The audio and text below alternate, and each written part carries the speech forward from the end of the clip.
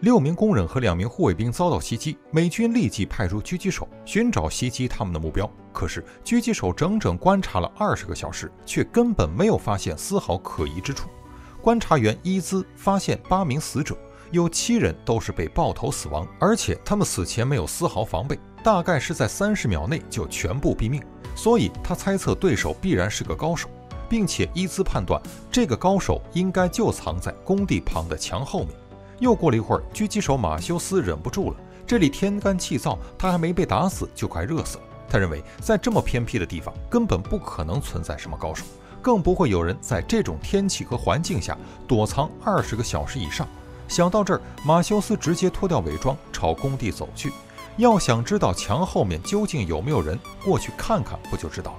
然而他刚靠近工地，一枚子弹就突然钻进了他的肚子。原来那个高手真的还在。只不过不是在墙后面罢了。伊斯见状，连忙冲下山坡。他本想去救马修斯，结果在高手的阻拦下，他被迫躲到了墙后面。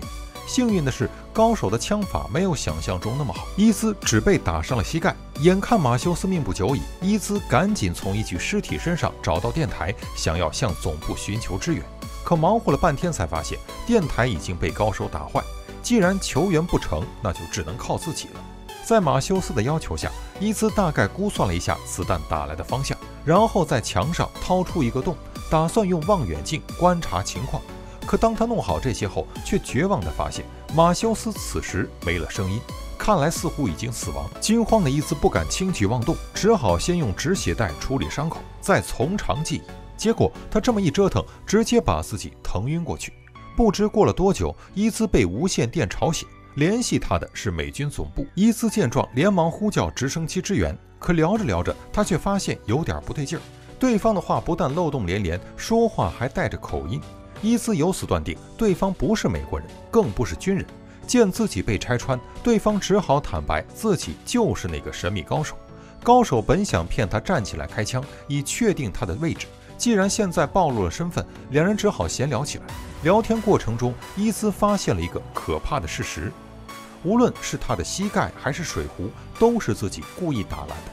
身受重伤又缺水，即便伊兹是特种兵，也坚持不到晚上。不过这场谈话，伊兹也颇有收获。他察觉到对方说话时周围有铁板撞击的声音。随后，他通过望远镜仔细对比观察了一下。惊奇地发现，高手竟然藏在垃圾堆里，而这也让伊兹变得不安起来，因为对方很有可能就是杀死七十五名美军的幽灵狙击手。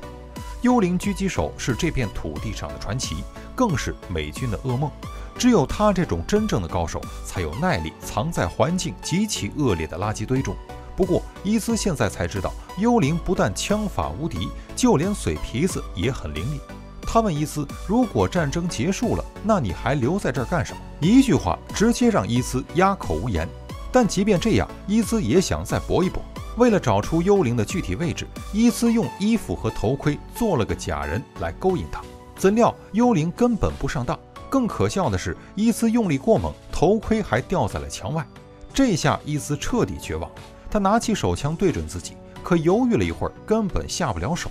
然而，就在他崩溃之际，沙尘暴却悄然来袭。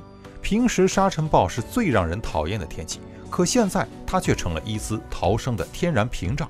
在漫天黄沙的掩护下，伊兹跑出墙外，从一具尸体身上拿到一个背包。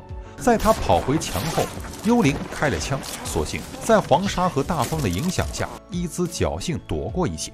可他并没有为此感到高兴，因为他发现自己冒死捡来的无线电台也坏了，而里面的水和食物也根本不够塞牙缝的。为了扰乱伊兹的心，幽灵再次跟他聊起了天。伊兹正被烦得不行，却猛然发现马修斯并没有死，他刚才只是晕了过去。伊兹终于不再孤单，他为此感到异常兴奋。他先是向马修斯报告了幽灵的位置和方向，然后又开始主动跟幽灵聊天。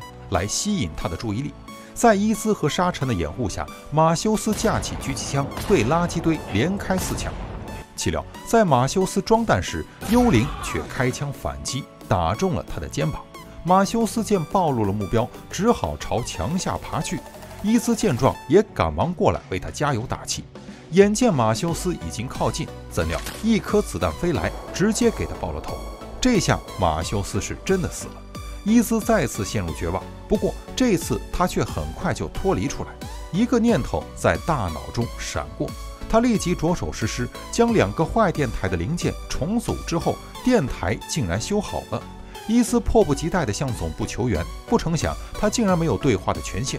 原来幽灵拦截了他的信号，假冒他的身份，代替他跟总部对起话来。当伊斯看到一具与众不同的尸体后，他才明白幽灵这样做的意义。八具死尸，七个被爆头，有一个则跟伊斯一样是被打断腿，在失血的情况下耗死的。原来当初呼救的护卫兵就是幽灵假冒的，他是故意引来的援兵，好一个一个将其狙杀。伤心和绝望过后，身心俱疲的伊兹再次昏睡过去。等他再次醒来时，已经到了傍晚，沙尘暴也已经停止，远处还传来直升机飞行的声音。但是伊兹知道。这一切都是幽灵的阴谋。为了不让战友惨遭毒手，他决定在飞机降落前把幽灵消灭。为此，伊斯用计把马修斯的狙击枪拿到手。这次他不再惧怕，不再胆怯，他一把推倒面前的墙，用扬起的沙尘做掩护，然后架好枪，等待时机。这时，幽灵开枪了。或许伊兹命不该绝，两枪不但都没有打中他，他反而还找到了幽灵的具体位置。伊兹抠下扳机，将最后一颗子弹射出。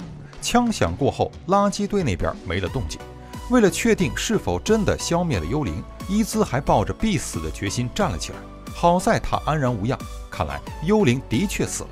最后，伊兹和马修斯被抬上直升机，眼看渐渐远离地面，一切终于都结束了。